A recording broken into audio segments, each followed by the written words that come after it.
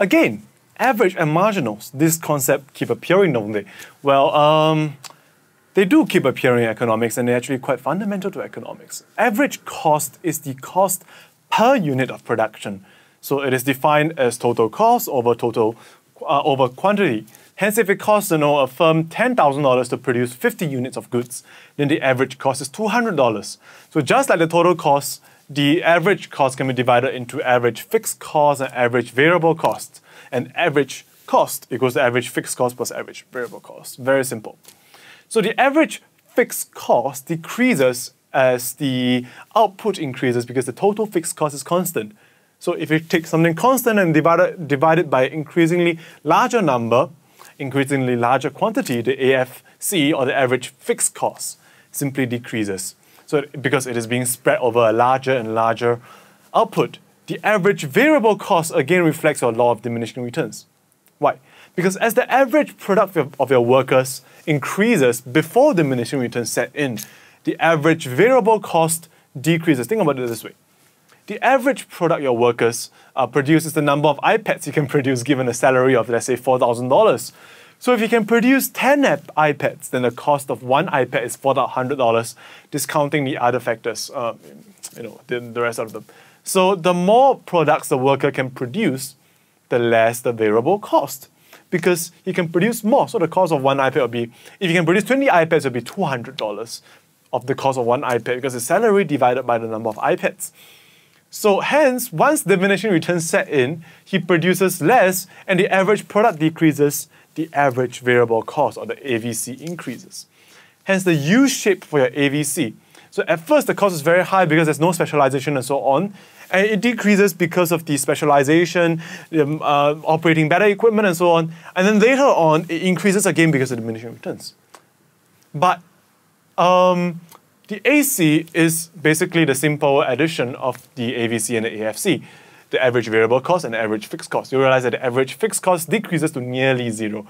Nearly, it never touches because a, a number divided by increasingly large number approximates zero, but never touches it.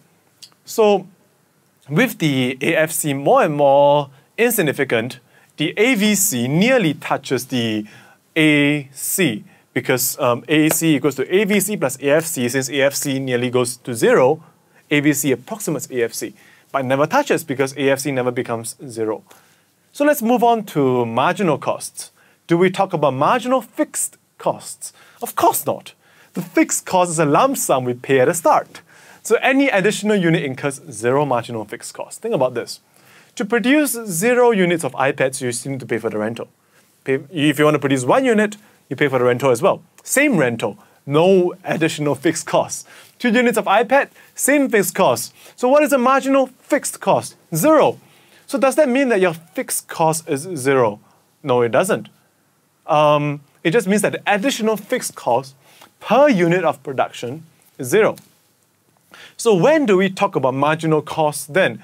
We only care about the variable costs. The shape of the marginal cost follows directly from the law of diminishing returns again. That's why I say it's so important.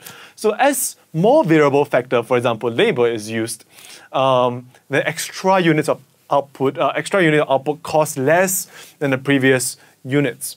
Remember this from AC. Beyond a certain level, diminishing return sets in, each additional unit of labor brings in less additional products. So the marginal cost increases. And marginal cost keeps increasing because additional workers bring in less and less to the extent that eventually brings in negative additional product. This is why your MC keeps increasing.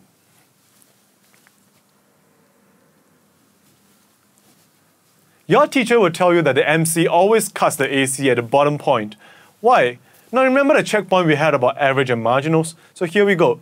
When the marginal cost, um, the cost of an additional unit is below the average, the average always decreases. When the average is, um, for example, remember the room. When the average is 20 years old and a 10-year boy walks in, additional 10 years, the average decreases because of the 10 years. When the average is 20 years old and an 11 year old boy comes in, same thing, the average still decreases. When the 12 year old boy comes in, same thing, it still decreases. So even when the marginal age can increase from 10 to 12, the average age still decreases. Same here. So even when the marginal cost increases, um, the, at this portion, the average cost can still decrease. Only when the marginal cost is higher than the average cost does the average cost increase as well. So this is another example of the relationship between all averages and marginals. Think about an H example and you will get it.